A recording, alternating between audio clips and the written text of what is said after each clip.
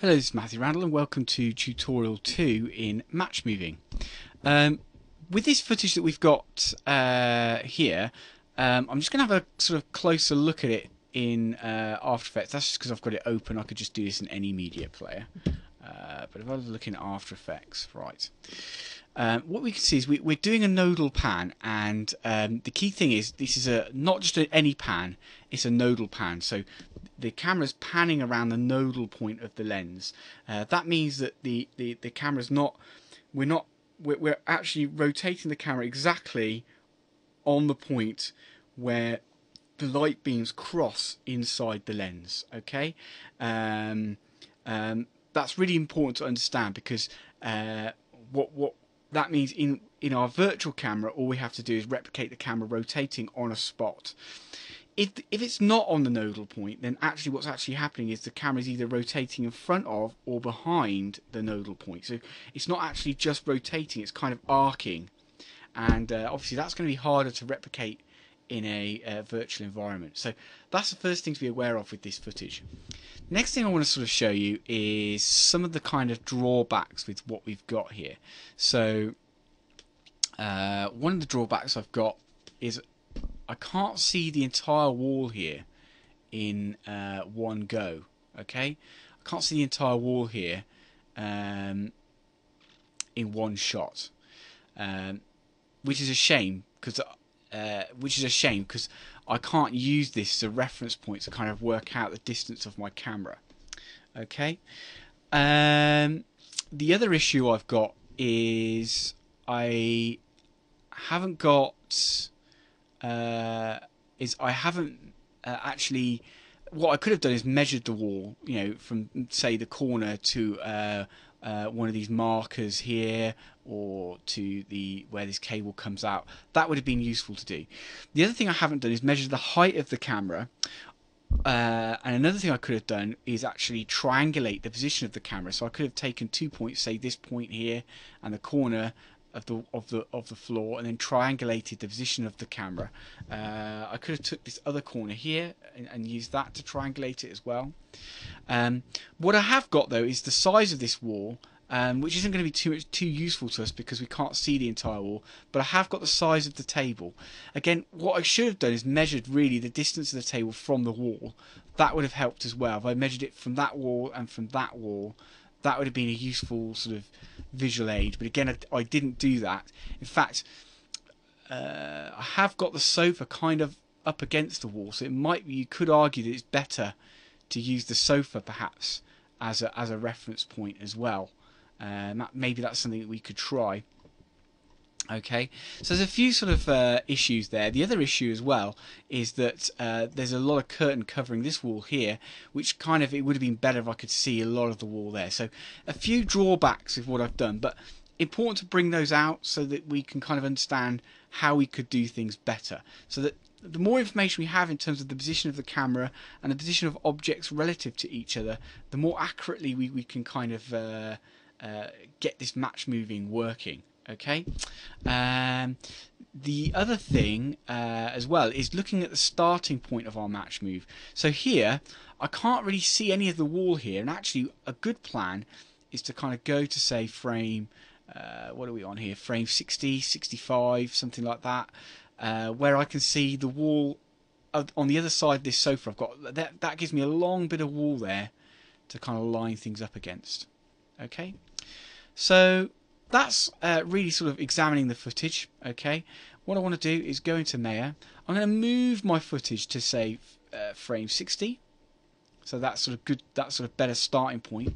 I'm going to go into the perspective view and add a plane. So I'm going to go create polygon plane. So this is going to be a plane that we're going to create to line up against.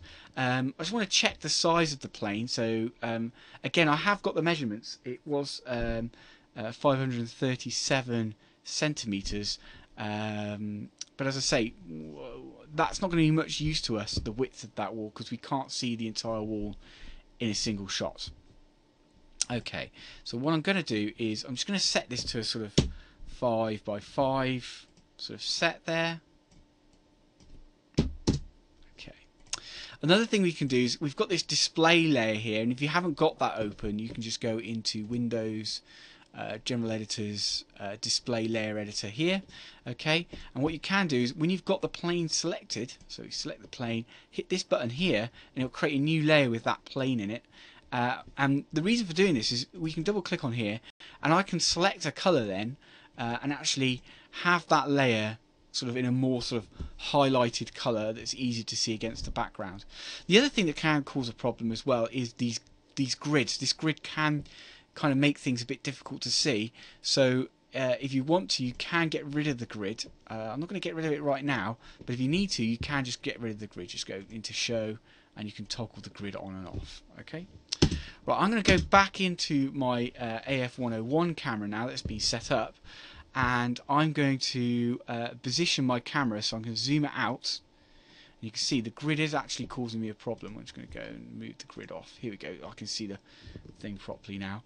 Uh, and then I'm going to move my camera. Okay so I want to move my camera around. I'm not moving the object around. This is a, kind of a bit of a weird illusion. The plane is staying still. I'm not moving this plane around. I'm just moving the camera around. Okay? And what I want to do is try and get a to a position. In fact, what might be useful is uh, if I can see where my camera is. Yeah, it's not it's not where I'd expect it to be.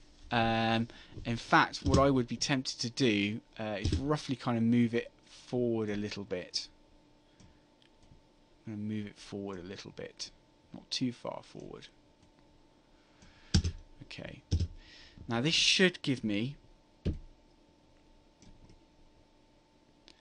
better idea of what this camera's going to look like. Yeah. So what I've done there is I roughly knew where it would have been in the studio and I've kind of just used that. That's not the best way to do it. You're much better off properly triangulating it. Um, I'm also going to use the overscan feature here that we set up earlier just to kind of get a better idea of how that's going to look.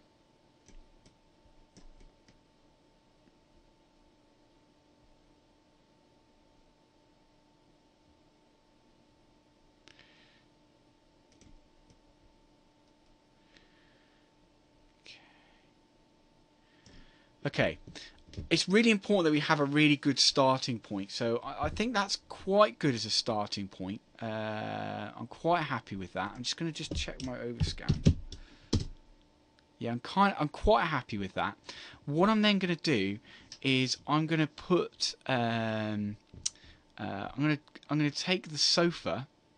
Uh, I'm trying to think if I've got measurements for the sofa here. Uh, So I'm, I'm going to take uh, measurements for the sofa. I've, I've, I've, just all I've done is measure the uh, the height, width, and depth of the sofa, and I measured the height actually up against these uh, arms here. Okay, so imagine I'm just kind of making a cube out of this sofa. Okay, if I go into the perspective view, I'm going to go uh, modify, create uh, cube. Okay, uh, I think I did a subdivision cube there for some reason. Polygon cube, there we go.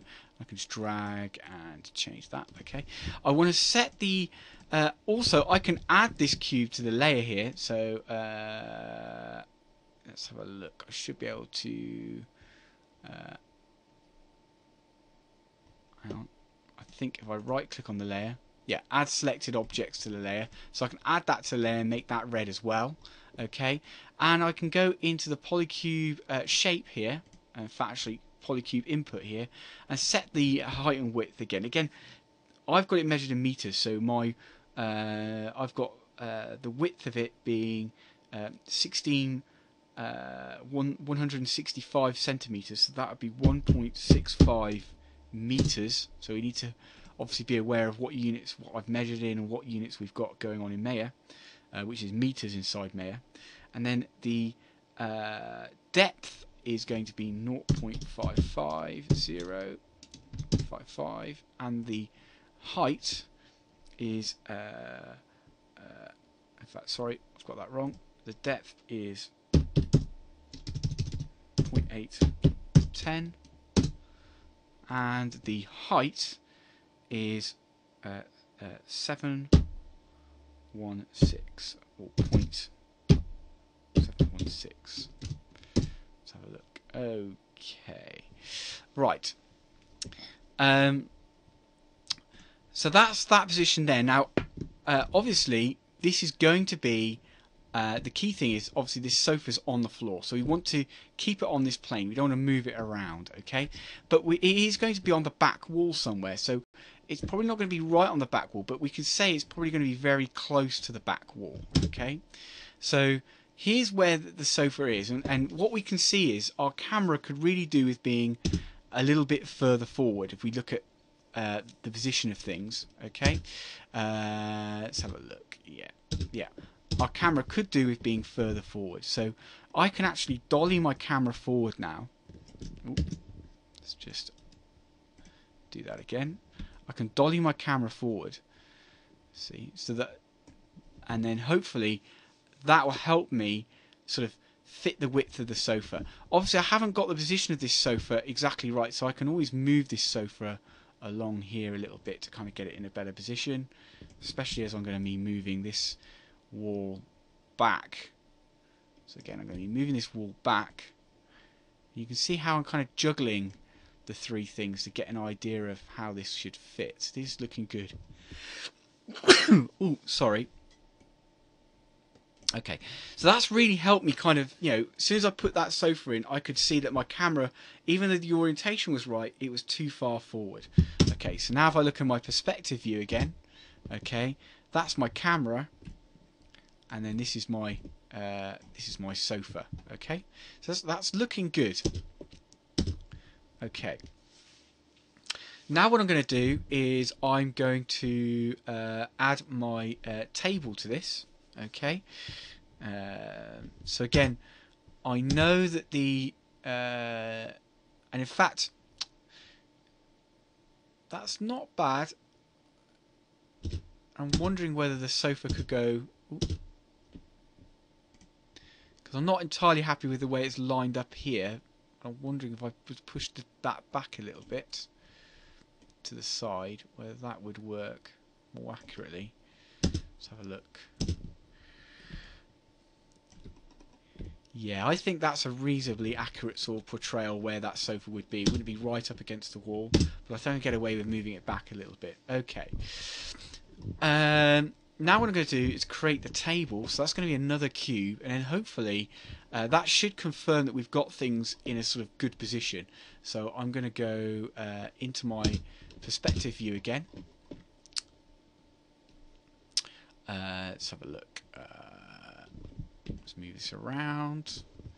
Go create uh, polygon primitives cube Okay, and create another cube. And again, I've got my measurements of the table that I had, so I'm going to add this cube to this layer, and then I'm going to go into here and adjust my measurements. So uh, the width of the table was 0.75, so that's 75 centimeters by 55 centimeters. Uh, that's oh, sorry, that's the depth, and then the height uh, I had at seven one point seven one six. In fact, actually the chair height, I think I've got slightly wrong, should be 0.70. Let's have a look what difference that makes. Uh, let's have a look through our camera. That's not caused me too much of a problem changing that chair height. Uh, I think that's fine.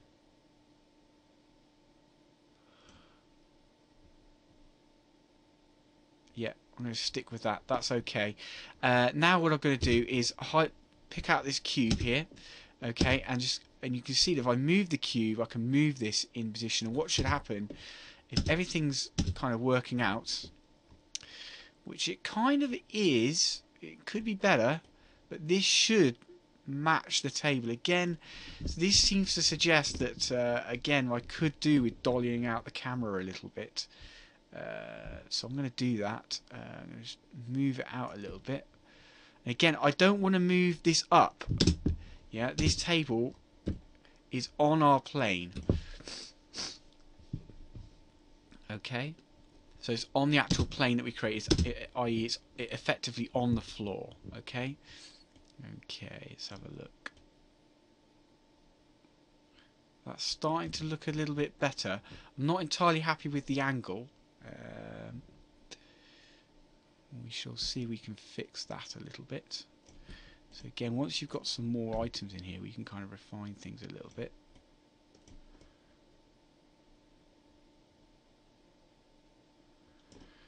So look, so I'm going to refine the position of the floor, uh, and then I'm going to refine the position of this table.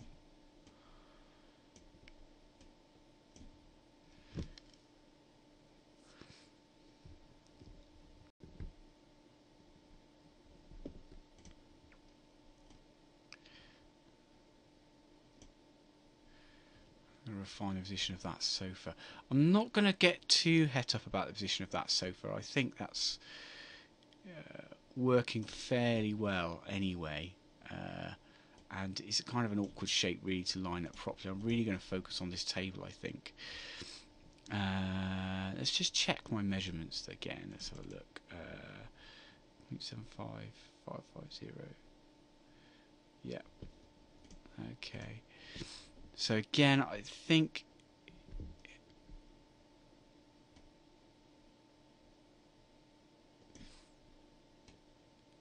it's not lining up brilliantly, this uh, table. Let's have a look. Um, I don't want to move it up and down. In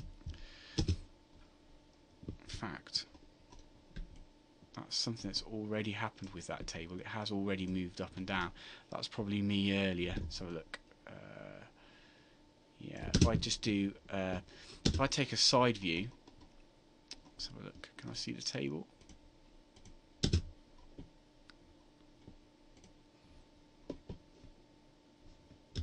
Maybe in the front view. Here we go. I can see the table in the front view here, and uh, I can see that actual fact. Yeah. So I can actually see that my table and my and my sofa were not 100% lined up with the floor. So it is worth going in that side view and kind of refining it. Which kind of creates an interesting position now with my camera. So I'm thinking now if I can actually move my camera up a little bit and maybe back, dolly it out a little bit. In fact, uh, kind of causing problems with the floor position. I'm wondering if I can just move this sofa around a little bit. Hmm. See, it does suggest that I need to kind of dolly the camera out a bit, so I'm going to move the camera out.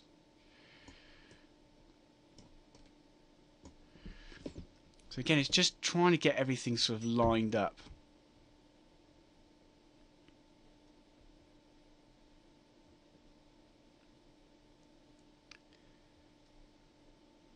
As best as possible.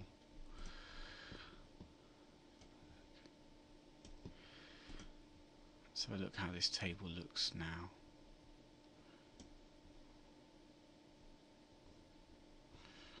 Again, I'm not convinced by the height of that. Well, that is what we've got measured. That does suggest that it should be kind of here. That's looking a bit better. If I move it a bit further forward. Okay. And then move this chair back. That's looking better. Okay. How does that look? Now, because we've got a... Obviously, we could refine the alignment of these pieces of furniture in much more detail, and if we took better measurements, we would uh, have a start, better starting point with the camera in the first place. I'm going to,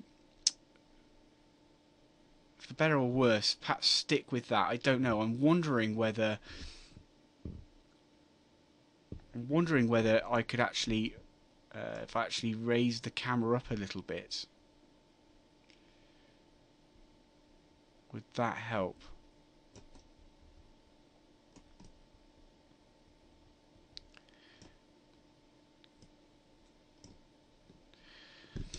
don't know. That doesn't seem to be ideal. Okay, we could spend a lot more time refining this, and I'm, I'm not 100% happy with this, but we're going to take this as a stopping point and you can kind of move it around and really refine the camera position and resolve this okay? But these cubes should really line up you know especially with this table you can really take the time to really line it up properly okay? Once you've got a sort of starting position um, quite often what you want to do is stop the camera from being uh, you know, for, from being able to move the camera around. So quite often it's good if you just select the camera. Once you're happy with the position, we can actually select some of these. Obviously what we're going to do is rotate it in the y-axis, because uh, that's the up axis. Okay, but you can select these layers and then what we can do is just lock them. So what that means is we can't accidentally kind of move this around now, okay? The camera is effectively locked, okay? Um, now, uh, now what we can do is I can then, uh, I can then, and then what I want to do is then animate the camera moving around. Okay, so uh, I'm going to go and uh, I'm just going to. So I, I've got a starting position here. So before I move to another frame, I can just literally keyframe this right now. So I can go uh, key selected. So I've now inserted a keyframe here, okay? And what I can then do is sort of move what what I what I'm probably going to do is just move to another point in this pan. Uh, probably let's say uh, over to here.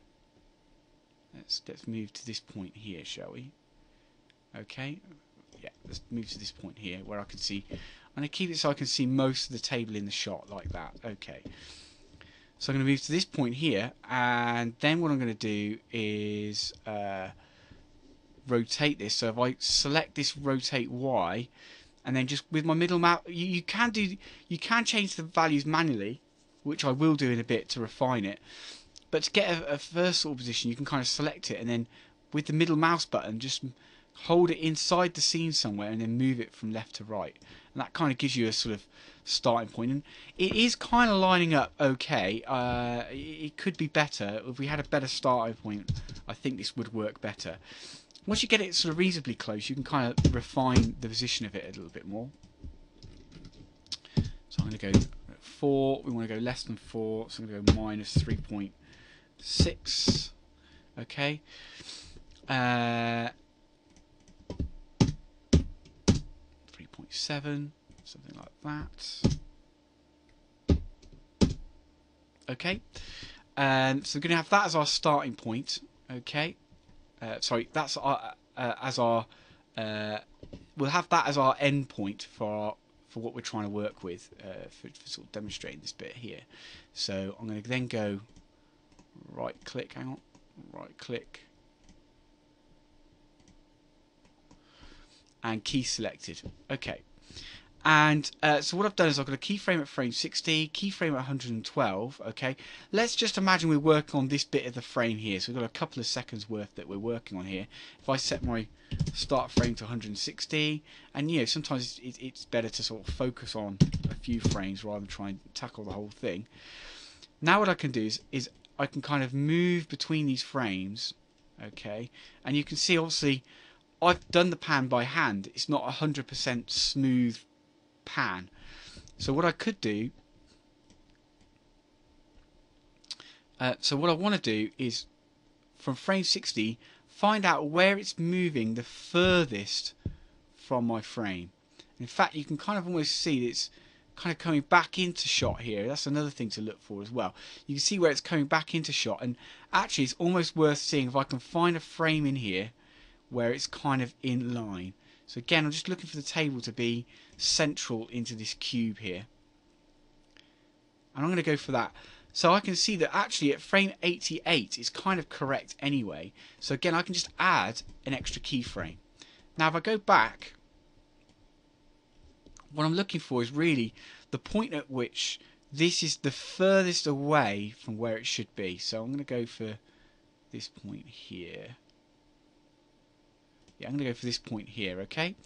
Then what I'm going to do is, again, just anywhere on the screen with the middle mouse button, just use it to rotate it. There we go. Get it get it as close as possible. That's not bad actually. Okay. And then I can key that, key selected, and then again just refine it. So you can see it's just going where it's the furthest away from the table. Okay. So again, I'm going to just do this manually, I think. Uh, I think I want to reduce it. 16.5. Okay. It's a little bit too far.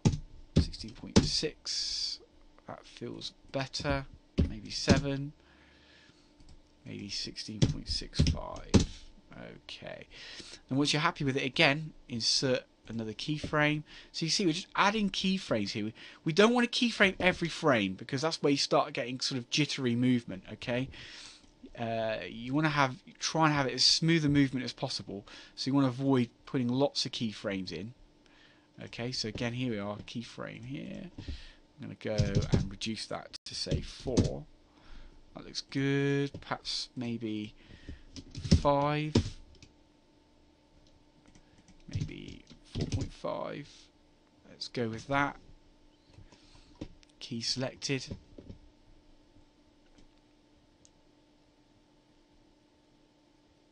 So you can see now my pan is really sticking to this table. Okay, I'm really happy with that. That's looking really nice. Okay, uh, again, and then again with this large section here. And my, my smooth is obviously much, my, my pan is getting a bit smoother here. So I don't think there's a lot of work to do at all on this actually. If anything. In fact, I'm going to leave that. That looks good. Let's move it up so we can see that we've got a discrepancy in our frames here. Let's have a look. So where's it the furthest away?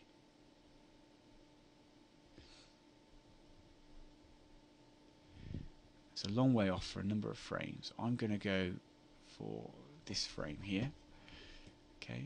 Uh, I think I'm going to have to just do this again numerically. Uh, gone the wrong way, sorry. Let's go six. Uh, six point one. Six point two.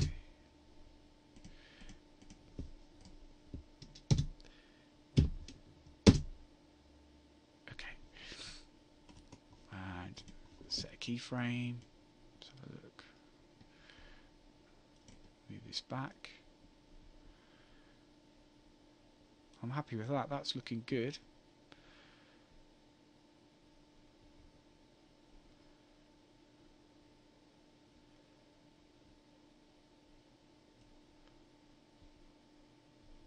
it's kind of moving a little bit too far over to, to the right here a little bit so I'm just going to uh, alter this a little bit. I'm thinking that's looking good. Something like that. Maybe even a little bit more.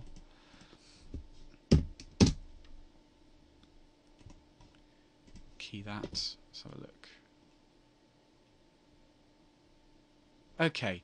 So I'm not entirely happy with our starting point, but we have got uh, we have got a really good match move here.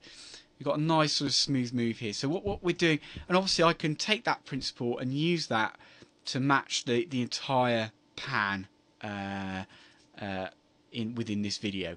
Okay, um, but the key part is we we we we start we keyframe our lined up frame. I then move it to the extreme end of the pan okay uh, I didn't in the, I didn't move it all the way in this case because I would have lost track of the table so I moved it as far as I could without losing track of the table I will then have to obviously what I'd have to do is continue this pan perhaps um, uh, perhaps put some circles in or cylinder in where this drum kit is and then use that to help me do it or uh, perhaps track the corner of the wall or the baffles or something like that.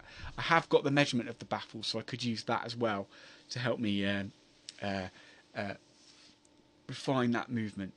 Okay, so um, yeah, that's the general approach. What I'm going to do now is just in the uh, perspective view, I'm going to grab a, I'm just going to add a cylinder, polygon, cube. Okay, drag. It's going to create a small cylinder. Okay, uh, sorry, cube, sorry. Uh, and I'm going to move this in the side view. I'm going to put that at the exact height of the table. Okay, and let's move that along. Oh, no, that's not what I wanted. And move that along to match the position of the table. In fact, I'm going to try and move this into a top view. Uh, great, we are over the table. That's what I wanted. Great. So I've got this cube on the table here. Okay. And I'm going to have that... Uh, and then what I'm going to then do is I'm going to put that on a, on a, on a completely separate layer. So here's a new layer with the cube on it. We're going to make all these other layers that we're working on invisible and then just go into view uh, and then go flat shading okay so we can actually see this cube um, slightly concerned that it's, it's just black that wasn't what I was expecting sorry uh, use default lighting. Oh yes okay. Somehow I switched the default lighting off. And then what I'm going to do is so that cube should be locked to that table now. And if I animate that you can kind of see yes.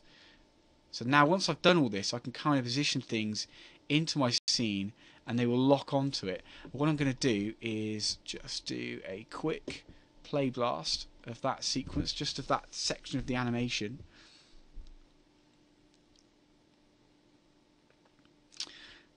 And so this should have given you the general approach. We we can refine this and we can do take this a lot further and, and, and and make make this a lot sharper. But this should give you a sort of starting point uh, in terms of uh, uh, match moving.